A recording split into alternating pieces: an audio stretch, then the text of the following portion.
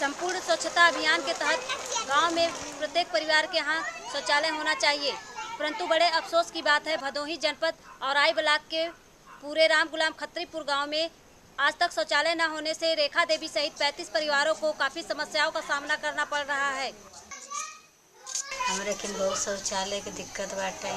दिक्कत बा कि आजकल पानी बरसता, अब हम लोग खेते में जाए बड़े बड़े घास हो गए हैं, बैठे बहुत दिक्कत है, खेतन में पानी बुड़ गया, बहुत दिक्कत बा, बहुत बेटिया कहाँ जाए?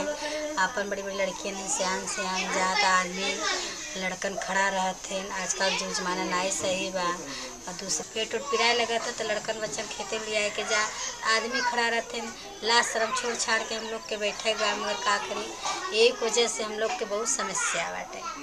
हम लोगन के कुल पैंतीस घर है। हम लोगन के शौचालय पैंतीस सौ घर के परेशानी बा काहे भी हमें लोगन के छोटे छोटे बच्चन है खेत बाड़ी से जाए नहीं दूसरे खेते बेड़े में जाए थे।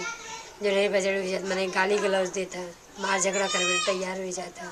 शौचालय पास जो कोनो प्रयास कई बार बहुत प्रयास बवा लिखा गवा यहाँ से हम लोगन के मंजूरी मांगेंगे फिर भी प्रधान लिख के ले गए ले आए कुछ मिला नहीं हम लोगन के। आए हुआ चीज़ चीज़ चला गया।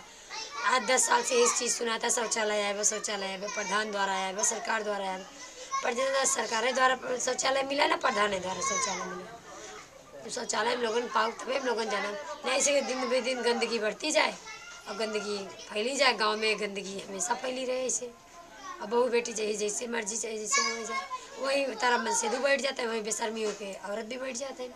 अगर आपके शौचालय हो जाए तो आपके का फ़ायदा होगा? हम लोगन की फ़ायदा रहे पहला नंबर तो हमारे हमारा गाँव एकदम स्वच्छ हो जाए एक गंदगी न फैले बहू बेटी पर्दा भी कर सकत है मान मर्याद भी बच सकत है। मैं और मेरा समुदाय चाहता है कि इन सभी लोगों के घरों में जल्द से जल्द शौचालय बने ताकि इनकी समस्या दूर हो।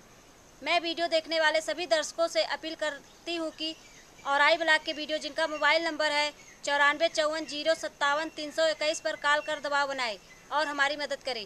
मैं कैसा देवी, उत्तर प्रदेश से इंडिया अनहड के लिए।